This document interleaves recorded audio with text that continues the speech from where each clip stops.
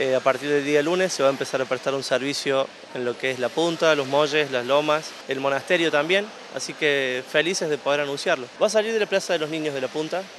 eh, tiene un recorrido por autopista 25 de mayo, retorna hasta las lomas, de las lomas va por un camino de tierra hasta Avenida Serrana y vuelve a cerrar el corredor en Plaza de los Niños. La frecuencia va a ser de, eh, de lunes a viernes, por el momento en dos horarios, cerca del mediodía, una,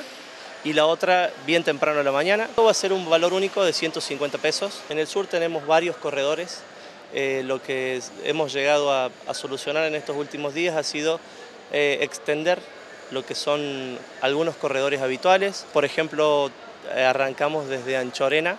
hasta la localidad de Unión y ahí tenemos una interconexión para poder llegar a Villa Mercedes y luego a San Luis. Y por el otro lado, desde Anchorena, Unión, yendo por ruta 3,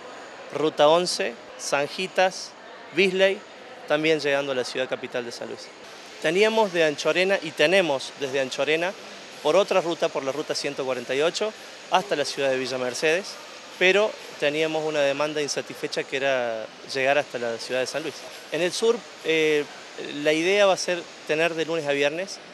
provisoriamente va a ser lunes, eh, miércoles, jueves y viernes, con dos operadores distintos y en la medida que la demanda así lo disponga, se va trabajando también sobre la marcha.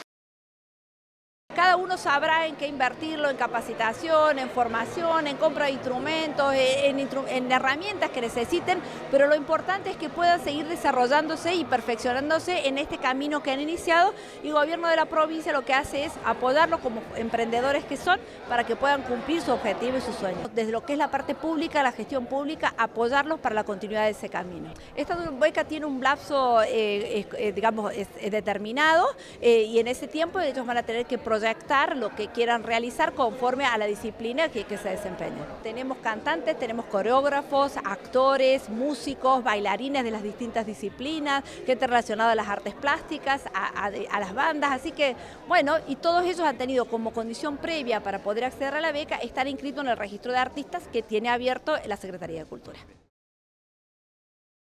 teníamos una materia pendiente que era eh, venir a contarles cuáles eran las líneas de crédito que tenemos a disposición para la pequeña, eh, mediana y gran empresa y también contarles por ahí al, al que es eh, más chiquitito, que también tenemos unas líneas de crédito disponibles a través de lo que es ADEA, que es la, lo que es la ex caja social de la provincia. Bueno, en este sentido, ya que el agente financiero del Estado, hoy es el Banco Nación, nos acompañó porque en conjunto financiamos eh, líneas de crédito muy importantes y que algunas son directamente aplicables al sector turístico. Hemos estado acompañados por el secretario de Turismo porque también la ley de fomento a las inversiones turísticas fue, es fundamental poder explicarla eh, y también la idea es eh, poder contarles la ley eh, de fomento a las inversiones industriales y un nuevo fondo de garantía provincial para la toma de créditos que la provincia ha aprobado como ley y ya tenemos la reglamentación en el Banco Central de la República Argentina. Estamos siempre dispuestos a ver a contar, a, charlar con todos los sectores, pero nosotros tenemos una, eh, una eh, responsable de ADEAS acá en, que es funcionaria acá en Merlo, así que a través de ella pueden eh, perfectamente hacer todas las consultas, pero de todos modos quedamos a disposición si es necesario para una nueva reunión. En muchos casos, la empresa de correos, que es la que hace la entrega, al no encontrar a nadie en el domicilio,